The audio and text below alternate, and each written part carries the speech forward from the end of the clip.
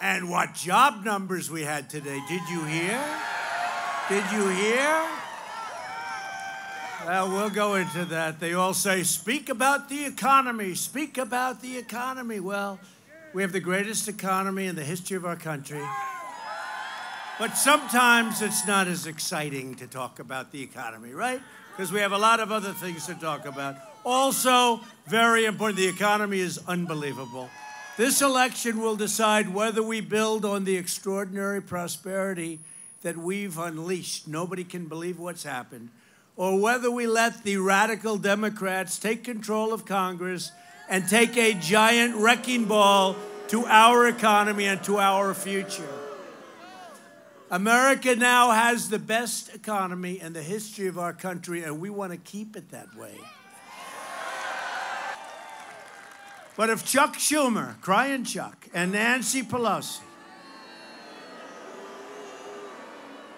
and the legendary Maxine Waters take power, they will try to erase our gains and eradicate our progress. That's what's going to happen. They're going to work hard, and we will be fighting. Oh, it will be. It will be ridiculous, frankly. It'll be bad for our country. The Democrats, and it could happen, could happen. We're doing very well, and we're doing really well in the Senate, but could happen. And you know what you do? My whole life. You know what I say?